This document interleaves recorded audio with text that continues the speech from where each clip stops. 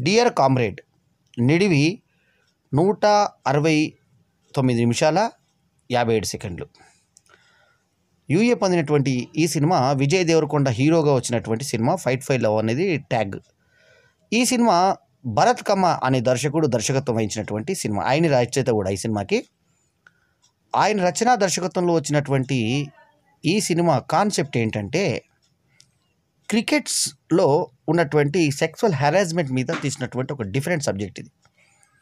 So ఇందులో heroine మనకు మంచి పేరుగా ఒక ఫేమస్ అయినటువంటి విజయ్ దేవరకొండ మరియు మన్ మందున ఎవరు? రష్మిక మందున. ఈ ఇద్దరు కాంబినేషన్లో వచ్చినటువంటి సినిమా గీతా గోవిందం. సో అదే కాంబినేషన్ సక్సెస్ కాంబినేషన్ని రిపీట్ చేశారు ఈ సినిమాలో. ఓపెనింగ్ చాలా పోయిటిక్ ఓపెనింగ్గా తీసుకున్నాడు. స్టార్టింగ్ స్టార్టింగ్ ఒక బాగా పాడుపడ్డటువంటి బాత్రూంలో హీరో బాత్రూమ్ పోతూ బయటకు వచ్చి ఏదో ఖైదలు అతని దగ్గర ఉంటే కింద పడిపోతే ఒక అతను డ్యాష్ ఇచ్చి అనవసరంగా వాడితో పోట్లాడ పెట్టుకొని ర్యాష్ ఫైట్ జరుగుతుంది ఇద్దరి మధ్య. ఆ కారుతున్న మూత్రము దాని పక్కన పడిపోతాడు. అట్లాంటి స్థితిలో మత్తులో లేచి అతనికి వెళ్ళి ప్రియురాలకి నంబర్ కొడితే ఆ ఎస్టీడీ నంబర్ అవతల పనిచేయకపోతే అది యా అని గట్టిగా అరిచి ఆ ఎస్టీడీ బూత్ను పగలగొడతాడు. పగలగొట్టిన తర్వాత ఇతని పరిస్థితిని గమనించి అక్కడ వ్యక్తులు అతని దగ్గరని బయటికి తీసి అక్కడ ఆ ఫోను ఇరిగిపోయిన ఫోన్ని హలో హలో అని అవతలతో మాట్లాడుతూ ఉంటాడు. అంటే అతనికి ఆ ఫోన్ పలుకుతుందా లేదా అని కూడా తెలియని స్పృహలో ఉంటాడు అతను. అటువంటి స్పృహలో లేని పరిస్థితిలో ఉన్న అతన్ని గమనించి వింతగా చూస్తారు వాళ్ళు. సో అప్పుడు వెనక నుంచి బ్యాక్ డ్రాప్ ఆ ప్రేమ వచ్చినప్పుడు ఎంత అందంగా ఉంది వెళ్ళిపోతున్నప్పుడు ఎంత బాధగా ఉంది అని ఒక రెండు లైన్లు చెప్పి ఇంటర్వ్యూ లోపే ఆ కథ ఫినిష్ చేశారు. ఇక అతని కథ ఏంటి? గల్లీ క్రికెట్ ఆడుతున్నటువంటి వీళ్ళకి ఒక స్టేట్ లెవెల్ క్రికెటర్ అయినటువంటి రష్మిక ఒక యాక్సిడెంట్ రూపంలో పరిచయం అవుతుంది. అంటే ఆమె ఒక బస్సు అడ్డం వస్తుంది ఈమె ఎలా వస్తూ ఉంటే ఈమె రావడం వల్ల బైక్ని అదుపు తప్పి కింద పడిపోయినప్పుడు ఒక చిన్న అంటే స్కూల్ గర్ల్కి కాలేజ్ గర్ల్కి మధ్యలో ఉండే ఏజ్లో ఆమె పరిచయం అవుతుంది. ఇన్ఫ్యాక్ట్ ఈమె అక్కకి ఇతను ఆల్రెడీ అంతకుముందు లవ్ ప్రపోజ్ చేసి ఉంటాడు విజయ్ దేవరకొండ. ఆమె నో అంటుంది ఇతన్ని. సో ఆయన వయసులో కూడా ఆమె పెద్దది ఇతనికి. సెకండ్ హాఫ్లో ఆమెని అక్క అనడం కూడా కొంచెం పంటి కింద రాయిలాగా మనకు తగులుతుంది. అయితే ఈ అక్క పాత్ర చేసిన ఆమె ఎవరైతే ఉందో ఆమె సినిమా ఆసంతం ఇతనితో కనబడుతూ ఉంటుంది.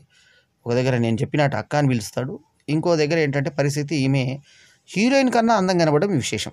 ఈ సినిమాలో రష్మిక మందోన చాలా విచిత్రంగా మనకి డీ గ్లామర్గా కనబడుతుంది. అంటే కథ పాత్ర ప్రకారంగా డీ గ్లామర్గా కనబడుతుంది.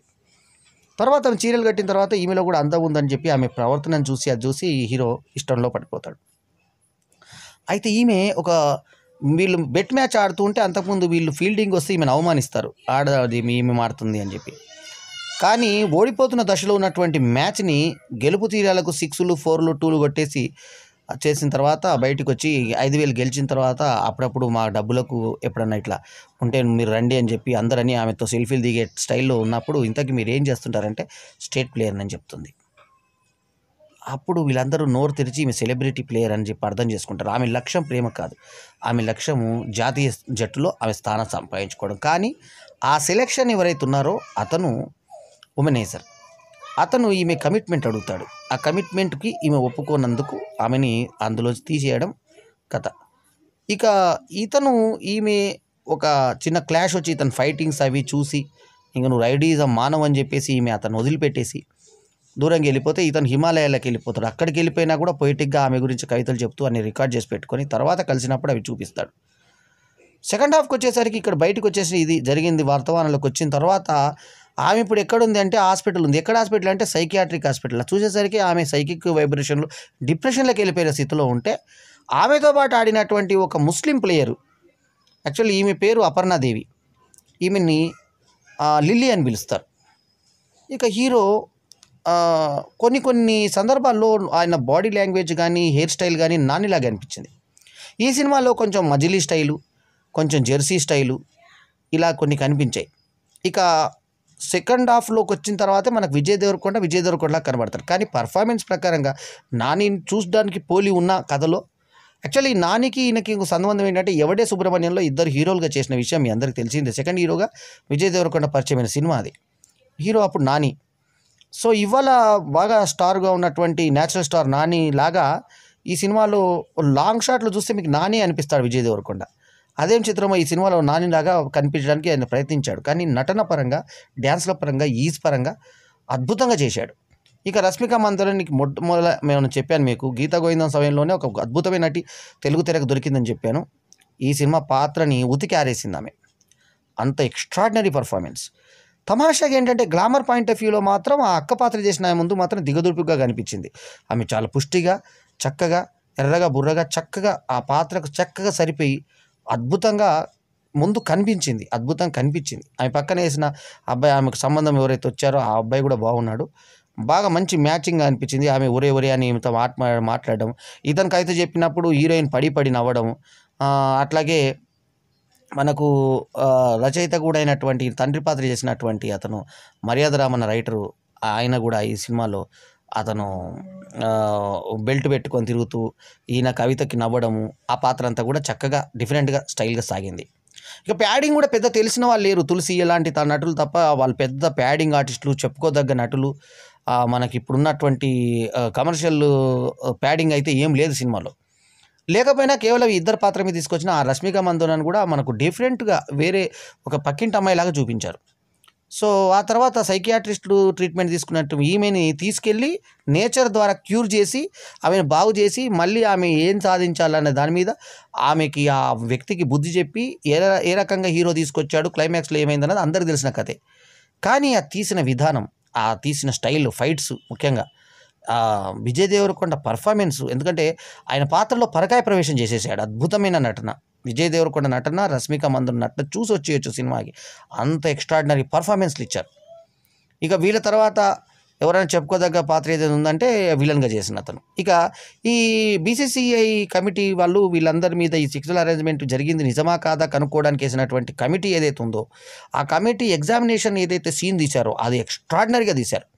నిజంగా అక్కడ జరుగుతుందేమో ఆ భావోద్వేగాలు కానీ అవి కానీ హీరోయిన్గా తండ్రి చేసిన అతను కూడా ఆ టైంలో రావడము ఆమె లాక్కుని వెళ్ళిపోతూ మళ్ళీ ఆగిపోవడము ఇవన్నీ కూడా చాలా సహజాతి సహజంగా చివరికి హీరో ఆమె ఇమరు తెలియదు నాకు అని చెప్పేసి వెనక్కి వెళ్ళిపోతుంటే క్లీన్ చిట్ వచ్చిందని చెప్పి విలన్ ఆనందపడుతుంటే అప్పుడు హీరోయిన్ మళ్ళీ చెప్పడము సో ఇట్లా ఆడవాళ్ళ మీద జరుగుతున్నటువంటి అకృత్యాలని కొన్ని సమాజానికి భయపడి సమాజంలో ఏదైనా చెడు పేరు వస్తుంది వాళ్ళకి ఏదైనా బ్యాడ్ ఫేమ్ వస్తుందని చెప్పి కొన్ని జరిగినా కూడా చెప్పకుండా ఉండడం కంప్లైంట్ చేయకుండా ఉండడం అనే దాన్ని పాయింట్ని తీసుకొని ఇంటింటికి ఒక కామ్రేడ్ ఉండి ఇలాంటి ఆడవాళ్ళని కాపాడాలనే కాన్సెప్ట్తో సినిమాని ముగించారు. సో ఇందులో రెగ్యులర్ విజయ్ దేవరకొండ మార్కు ఇప్పుడు ఇమ్రాన్ హస్మీ లాగా తెలుగులో మనకి విజయ్ దేవరకొండని పేర్కొంటే ఆయన మార్కు లిప్ లాక్లు ఈసారి ఇంకొంచెం ముందుకు వెళ్ళి అడ్వాన్స్కి వెళ్ళి ఏం చేశారంటే ఇక్కడ కిటికీ బయటికి తలకాయ పెట్టి వీళ్ళు ముద్దు తీసుకోవడము. అది లిప్ టు లిప్ తీసుకోవడము. ఆ లిప్ టు లిప్ తీసుకున్న దాన్ని తర్వాత ఈమె ఆ తరచి తరచు అడిగినా హీరో మర్చిపోయిన అనడము. కానీ ఫ్రెండ్స్కి అతను చెప్పుకున్న తీరు అతను ఆమె కోసం ఏడ్చిన తీరు ఫ్రెండ్స్ చెప్తే అప్పుడు నిజంగా నువ్వు ఏడ్పించావా అని చెప్పి అడగడము. ఇవన్నీ కూడా చాలా సహజాతి సహజంగా తీసుకొచ్చారు. అట్లాగే కామ్రేడ్ మీనింగ్ ఏంటి అనేది చారు హసన్తో చెప్పించారు. ఆయన కూడా సినిమాకి ప్లస్ పాయింట్ ముసలి తాత పాత్ర వేశాడు. సెకండ్ టైం వచ్చినప్పుడు మూడేళ్ళ తర్వాత ఈయన తిరిగేసి దేశాటన చేసి వచ్చే తర్వాత చచ్చిపోతారు తాతయ్య. సో అవన్నీ భావోద్వేగాలు.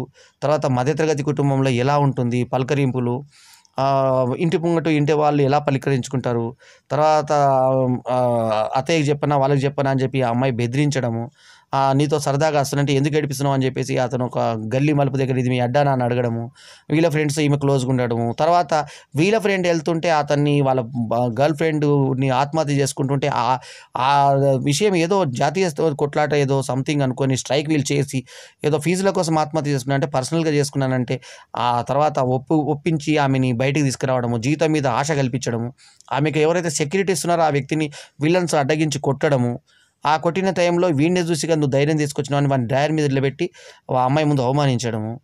ఆ తర్వాత వాళ్ళ కొంచెం మెచ్యూరిటీ అయిన తర్వాత త్రీ ఇయర్స్ తర్వాత ఈ విలన్స్ మళ్ళీ వీళ్ళ ఫంక్షన్కి వచ్చినప్పుడు అందరు కలిసి ఒకరి మీద ఒకళ్ళు చేతులు వేసుకొని సరదాగా పా- పార్టీలో కలిసిపోవడము స్నేహభావం చూపించుకోవడం ఒకరి పట్ల ఒకరు. ఇట్లాంటివన్నీ కూడా సహజాతి సహజంగా సాగిపోయి సినిమాని ఒక స్థాయిలోకి తీసుకెళ్ళాయి. కాకపోతే రెండు గంటల యాభై నిమిషాల అంటే ఒక కేవలం మూడు సెకండ్లు తక్కువ. నిడివితో యూఏ సర్టిఫికేట్తో రెండు మూడు చోట్ల లిప్లాకులతో తీసినటువంటి ఈ సినిమా.